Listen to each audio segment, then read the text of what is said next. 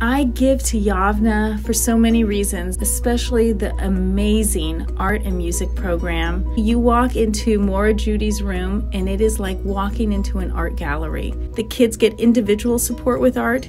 She finds each kid's interest and draws it in. I love that when my kids come home, they're telling me art facts, art history. They are learning about different regions, different art technique. The art they bring home, we literally frame and put on our walls, and people marvel at this art.